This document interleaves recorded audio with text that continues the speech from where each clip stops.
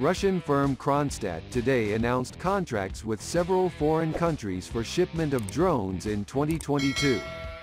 The model of drones or their numbers were not specified in a statement released by the company as reported by Zvezda, the Russian MoD's TV channel.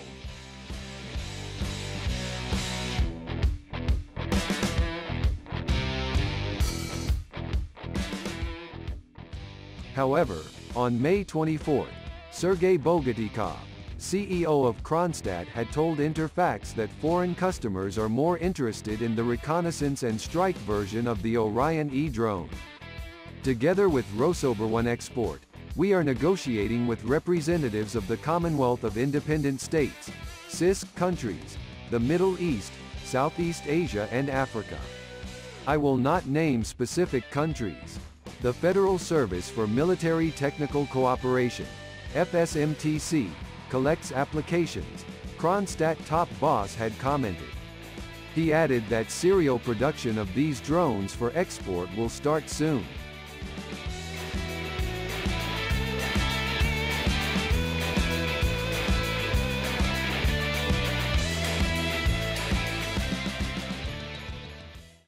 We are already purchasing components for assembling complexes for starting buyers.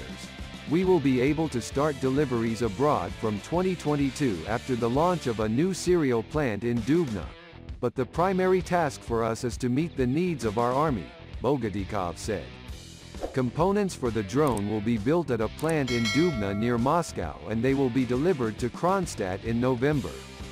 First of the drones will be delivered to the customers in 2022. The UAVs will have a modular design. Equipment, payload and ground components can be customized as per the needs of the customer. These export samples, among other things, will be equipped with satellite data transmission equipment, Bogatikov said today.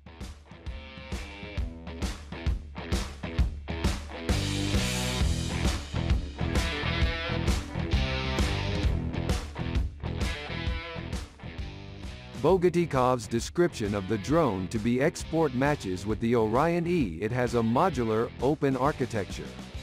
Recently, we showed a variant with a gyro-stabilized optoelectric system developed by a company from Belarus. This is a clear example of the integration of a potential customer's equipment into our complex. We can also do with aircraft weapons, he had said.